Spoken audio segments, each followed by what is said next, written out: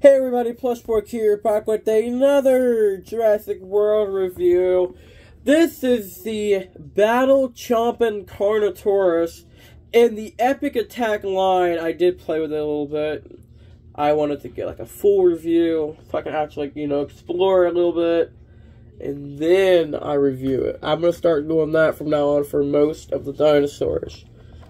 So all we gotta do is fix the feet because you gotta you gotta cut the box.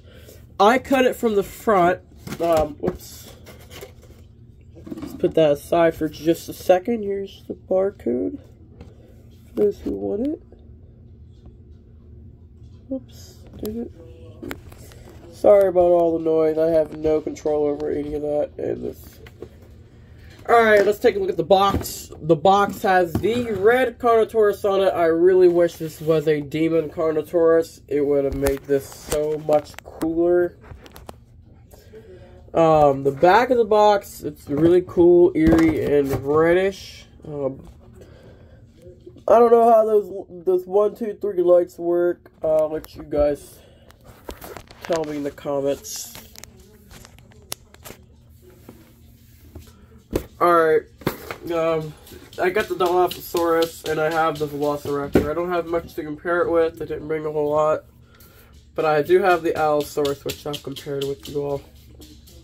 I can tell you now that the, the, the tail on this is a lot longer than the other Carnotauruses, and this is definitely the, the biggest out of all of them, which it's okay if they're a little big, but yeah, this whole Epic Attack line has been much bigger the Flash won't be on forever, so let's try to enjoy it. Most of this uh, body is is casted in a brick red color. The jaw is casted in a almost a khaki brown. You get this even darker, like scab red or or brown patterning spots and splotches all over the face. And goes up to here. It's even on. Hold on, let me see. Yeah, it's on top of the head too like that. The orange are painted brown, but there's a scrape on mine. Oops, I hit. I'll show you that in a second. You got these nice scales. I mean, the, the, most of the sculpt is practically the same. Uh, you got this the undershading going all the way down to the tail. The tail is completely unpainted, which really bothers me. There goes my flash which means I'm on 15%. I think, yeah, the, it, it, now, it don't look too bad. Um, the arms are casted in the brown, which it, it's a fade. It looks good. I accept that. Um, you got this brown that goes all the way to the tail. Did it again, it goes stop. Damn it. Start stops at the tail. And got some paint on the legs. The, the hand claws obviously aren't painted. Those are too small. I Wouldn't expect them to. But the feet claws are but the dew claws are not painted very well. So, and then the tail, like I said, has no paint. Um, here's scan code. Alright, let's take a look at the other side. The, the other side's pretty uh, similar to the other side, the first side. Um, it's got yellow eyes. Uh, let's take a look at the action features. So obviously it's got Chompin in its name.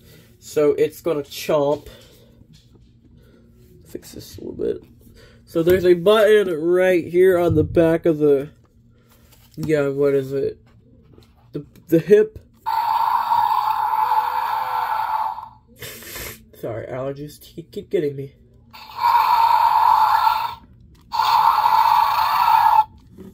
It's got some newer sounds to it.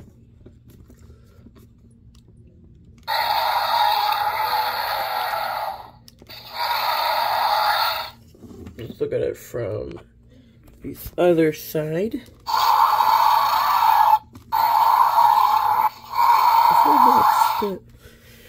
Um, the arms have articulation. Uh, the arms might be stiff on yours, or they might completely like fall off. I'll show that in a second. So the arms can go out and in like that. I'm just worried I'd break it. And they can go forward and backwards. The same thing can go to the other arm. It can go out and in. Uh, they put the speaker on the belly, which is where it's supposed to go, unlike while the others were on this side. The packy is on the other side, so let's take a look at the, the damage. So I know you can push it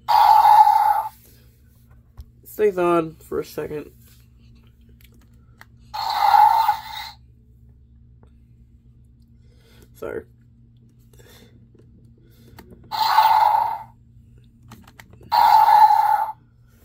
And there's actually two places with damage. And they hid the damage on this really well, in my opinion. Oops. There you go. If you double tap any of the two three times, like if you hit it fast like this, they both will flash. You can do this to any of the two. It also has a twisting tail feature. It's got the primal attack to it.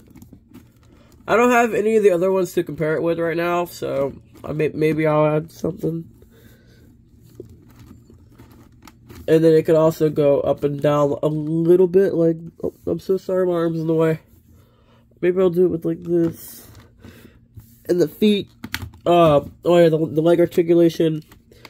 Both feet move together, which it's and the feet can rotate, but I'm not to rotate these feet much.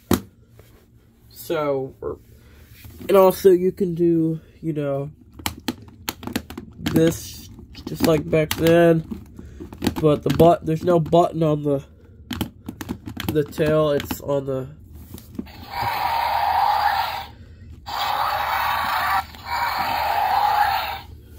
Alright, wait, whoa, sorry, seven minutes. Alright, sorry Doug. I got I got Marco up here. I'll you guys say hi to Marco. Hi boy. Hi boy. You're a good boy, Marco. You okay, Marco? He's alright.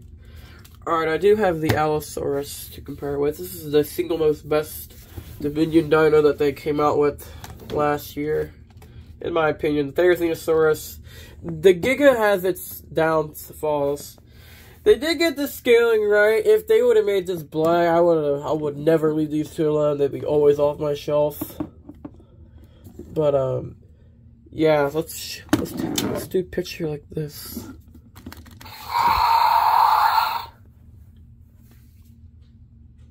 All right. So we got all this is so it kind of works. Allosaurus is mainly scratching, Carnotaurus is biting. So it can come in and...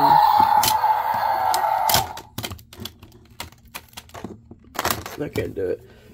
Allosaurus can scratch. Oh, damn it, this seven never stays up. Oh.